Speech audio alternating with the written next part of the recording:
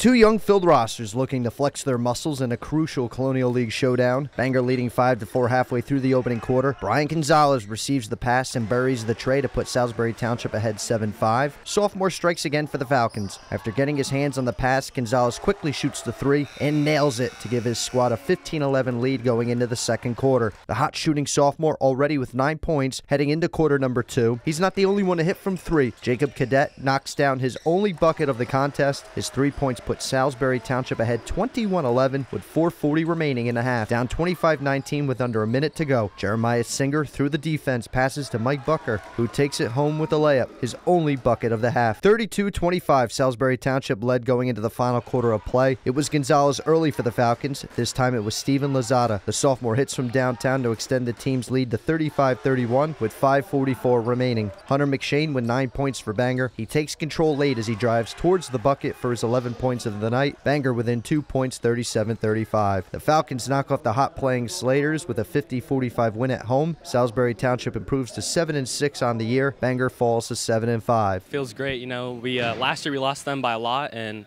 it's good that we came here uh, and at home to win. Uh, it was great. You know, big win. You know, had a tough loss to Notre Dame the other day before.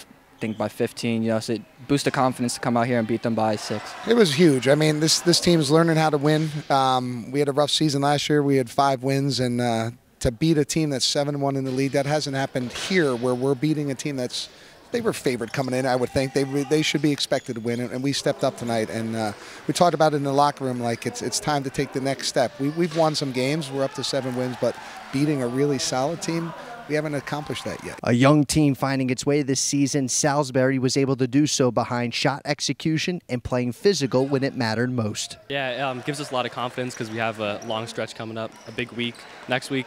Um, that we can ride off into the playoffs this year. A lot of confidence. You know, we got a big game against uh, Wilson this weekend. Uh, we think we can take them too. You know, it's the confidence is just boosted from this. It's huge. It's just it's learning how to win, um, and they're growing up. And I have a lot of guys back from last year, which is a good thing. And we have good senior leadership. Um, but we had two young guys that stepped up as our two leading scorers tonight. I think uh, Brian's three in the corner late was a huge shot for us. I think it was a two-point game, I believe, at that point, two or three, and uh, to knock that down with some confidence is huge. So I, we can shoot the ball. I keep saying to this guys all the time: we can shoot, we can score. We just have to have the confidence to believe that we. Can. I believe in you. You guys got to believe it yourselves. From Salisbury Township High School, I'm Mike Ventola for the Service Electric Network.